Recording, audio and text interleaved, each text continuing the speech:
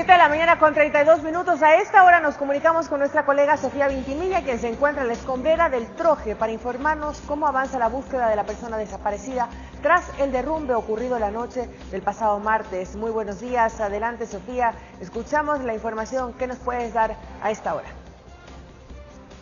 Sofía.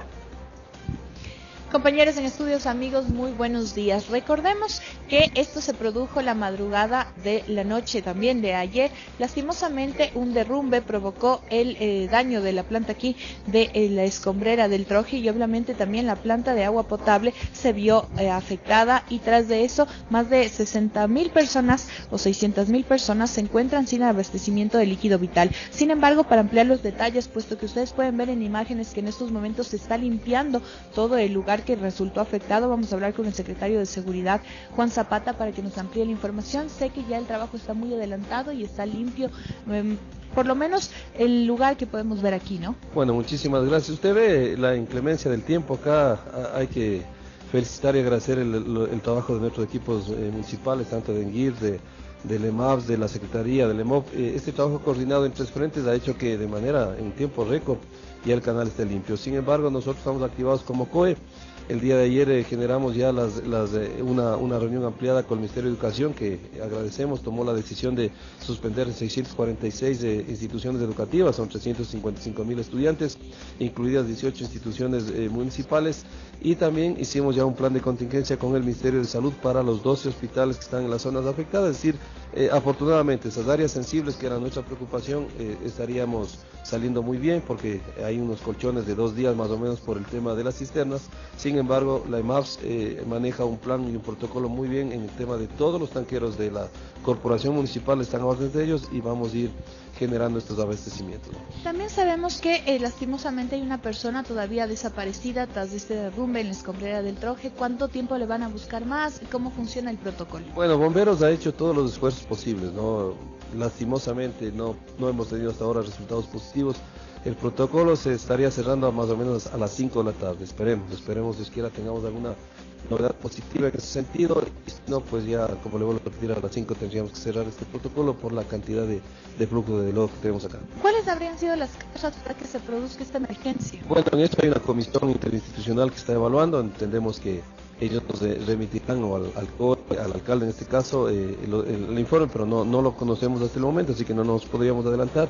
No olvidemos que por el mismo hecho de haber una persona desaparecida, hay que ser muy cauteloso en la información y esperaremos esos informes porque entendemos que las otras instituciones que tienen que actuar también generarán el peritaje y las investigaciones. Le agradecemos muchísimo. Ahora vamos a hablar con el gerente de la empresa de agua potable para que sobre todo nos cuente cuándo estará restablecido el líquido vital para la ciudadanía. Ayer hubieron largas filas en el sur de la capital esperando los tanqueros, un poco saber también cuáles serán los horarios y por qué sectores pasarán estos tanqueros hasta que se restablezca el líquido vital. buenos días, muchas gracias por visitarnos por acá. Primero solidarizarnos con la población que está sin servicio vital. Desgraciadamente hubo este, esta emergencia que nos bloqueó este canal del Pita que abastece la planta con gas y con Ocoto y sirve a una gran parte de la ciudad. Bueno, como ya dijo el señor secretario, el canal está limpio. Hemos trabajado desde las 3 de la mañana del día martes hasta ahora sin parar. Una parte del canal fue averiada, entonces estamos reparándola. Hay que, hay que hormigonar y luego tiene que fraguarse hormigón para poder limpiar el canal y ya poder conducir el agua hacia la planta que pueda ser procesada y distribuida a los sectores de la ciudad. Esperamos, esperamos eh, eh, siendo optimistas que el día de mañana en la tarde eh, los primeros sectores más bajos puedan empezar a tener servicio. Los tanqueros, ¿cómo funcionan los recorridos? De explicar a la ciudadanía. Sé que desde las 8 de la mañana hasta las 10 de la noche van a recorrer los sectores, pero ¿por dónde comienza para que ellos sepan a qué horas tienen que salir? Bueno, es un área muy amplia de la, de la ciudad. Los tanqueros están recorriendo varios sectores. Damos, estamos dando prioridad especialmente a hospitales, casas de salud, a sitios de ancianos. Eh, pero toda la información nuestra debe estar en la página web o en nuestro call center 1 824 24 24 que obviamente hemos recibido muchísimas llamadas y eh, pero estamos atendiendo en ese. Le agradecemos muchísimo. Bueno, recordarle a la ciudadanía lo que nos ha dicho el gerente de la empresa de agua potable.